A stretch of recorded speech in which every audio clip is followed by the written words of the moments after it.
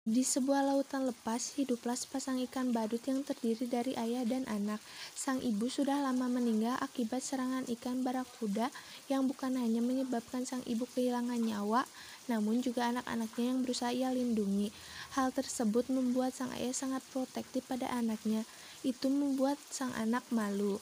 Ketika guru anak itu akan mengajak para muridnya semacam study tour, Anak ikan itu bermain ke batas terumbu karang dan samudra luas.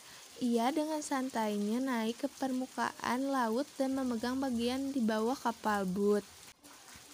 Ayahnya yang melihat hal tersebut murka, bukan main. Ia meminta anak itu untuk segera kembali ke batas aman.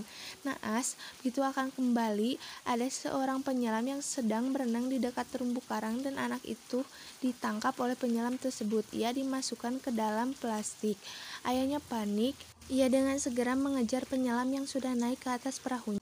Ayah ikan itu terhempas baling-baling dan sulit untuk mengejarnya karena kalah cepat. Di perairan asing, ia bertemu dengan seorang ikan lain, sebut saja Derry.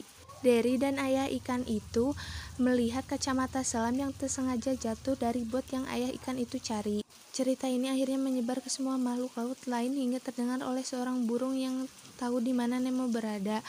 Burung pelikan itu akhirnya menuju tempat anak ikan itu. Setelah mendengar ayahnya sedang dalam perjalanan untuk menemuinya, anak ikan yang sempat melakukan percobaan untuk melarikan diri namun gagal, langsung memberanikan diri lagi. Berhasil, anak ikan itu bisa kembali ke laut untuk bertemu dengan ayahnya setelah melewati banyak drama. Akhirnya mereka bertiga kembali ke lautan dan hidup bahagia.